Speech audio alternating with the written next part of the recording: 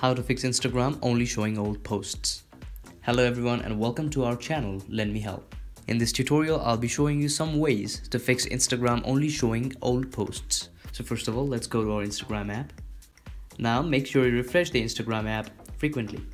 If you have only been seeing old posts then what you can do is slide down in the Instagram app so that it loads so that you could see all the new posts available in Instagram. If that doesn't work, then I'd like to request you to check the internet connection.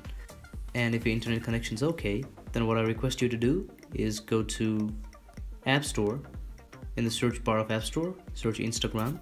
And after you search Instagram, instead of an open button right here, if you see an update button, make sure to click the update button and update the app. What this does is, it gets rid of bugs and improves your Instagram performance. So the next option we can try is go to settings go to general go to iphone storage slide down and find instagram click on instagram and offload the app. Offloading the app will just clear your cache and won't result in the deletion of data. And after you have offloaded the app you can reinstall it again. That might help as well.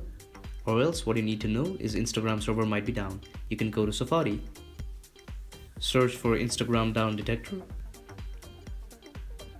And click on the first site. And check if the Instagram servers are down everywhere. That's it for today. Thank you very much.